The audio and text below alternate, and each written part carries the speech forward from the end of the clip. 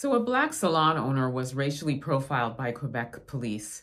They showed up at her salon unannounced, unexpected, no notice, and searched her premises.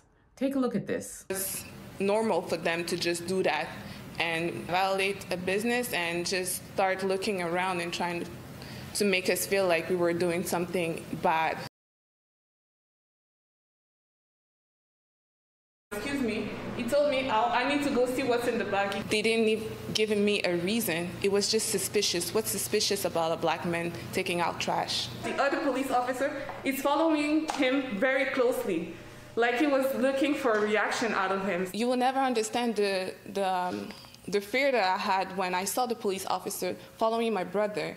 Um, I was scared for his life. Stephanie says she feared an escalation, especially since she says police have been keeping an eye on her business ever since she opened her doors in November. The interaction on the evening of June 10th caught on her security cameras. Do you have a piece of ID? But they're looking at my brother.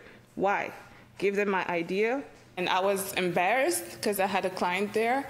And for me, I was just scared. I just wanted them to leave as soon as soon as possible so I can just go about my business. Montreal police tell City News they had reason to believe there was an infraction regarding an alcohol permit, and information is now submitted to an investigator.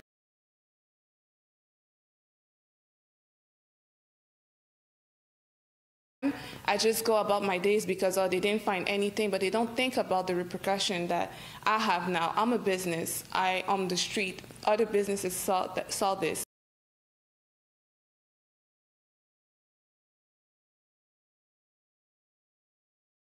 With racial profiling it's we always have to um, justify herself. And they came to us.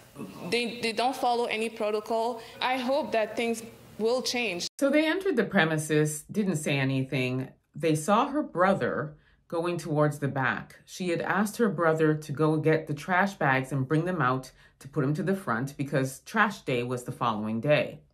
They followed her brother to the back and while they were walking towards the back, she stopped them and she said, Excuse me, may I help you? I'm the owner of this salon. And they said, Oh, we just want to go and see what's back there. So they were following her brother. And you do note that the sister said that the one of the officers was really, really close to her brother. That was what he was trying to do to provoke her brother and also stay really, really close to him in the event that he should just nudge a little bit by mistake because he's so close to him and they would have attacked him, they would have assaulted him, they would have accused him of assaulting an officer.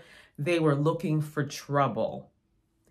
So when they got to the back, they looked around, she showed them around, and then they left.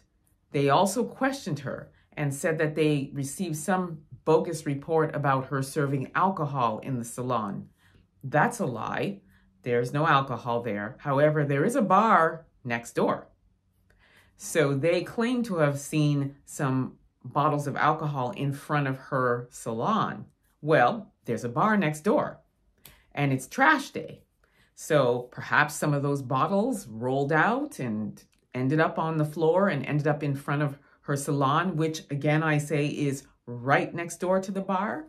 And there we have it finding a reason to make trouble for a black owned salon.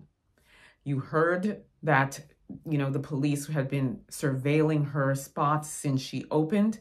That is common practice when a black person opens up a business in the racist province of Quebec. They are watching everything you're doing. They'll either be parked outside the establishment or across the street or just a few meters down for months they do the same thing in Ontario and pretty much across Canada. As long as you're opening up in an affluent neighborhood where you might only be one of two or the only black owned shop or establishment, this is what they will do. And then, of course, they find a reason, they pick their moment, and then they come and start trouble. This sister is considering uh, filing a complaint with the Quebec uh, Human Rights Commission. Um, so far, there hasn't been any further reports about it. She did not get a ticket or was not charged with anything, which is great. However, none of this should have happened, aside from the fact that this is Quebec, and this is how the police are. And I have two words body cam. Still no body cams for these racist police officers. And because of that, they feel very emboldened and very empowered to torment our people. Let me know what you think about this. Don't forget to like and subscribe. Also, hit that notification bell so you don't miss out on the next upload. And subscribe to my YouTube channel, EA Public Relations, where I report on Black owned businesses in the Niagara region, events all across the province of Ontario as well. Until next time, please be safe, everyone. Peace be.